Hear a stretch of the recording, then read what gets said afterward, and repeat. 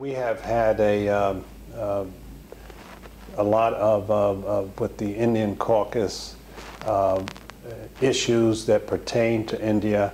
And we've had, as you know, very strong um, participation by Indian Americans in the whole uh, governance in, in our country. They have a strong, um, strong caucus.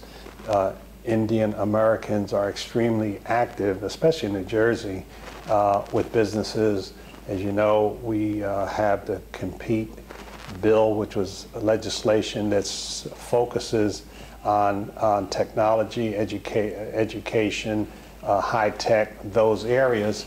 And it happens to be an area which uh, many Indian Americans uh, have gone into. And so we think that that legislation uh, uh, enhances uh, the opportunity for all people, but um, Indian Americans uh, in particular, because that's an area that they uh, seek.